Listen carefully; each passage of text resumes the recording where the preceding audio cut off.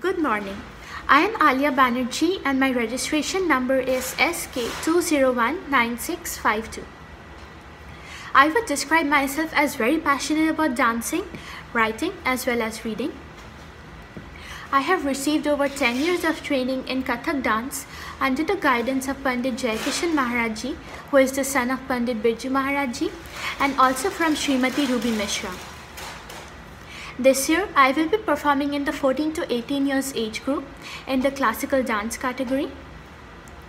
Over the years, I have performed in various venues in New Delhi, such as Kamani Auditorium, and I have also completed all three levels of the Prarambhik Sangeet exam in Kathak dance from the Prachin Kala Kendra.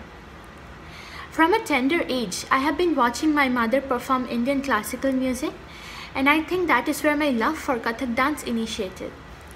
My inspiration would undoubtedly have to be my guru, Srimati Ruby Mishra, and my favorite dancer is the Kathak connoisseur Pandit Birju Maharajji.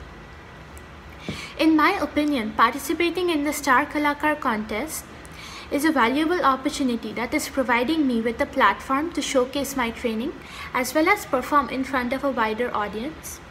I really hope to win this competition this year as I feel it would help my performance transcend to a better level. As after spending two years in the US, I would really like to increase my interaction with the Indian classical music community. Thank you so much for giving me this opportunity.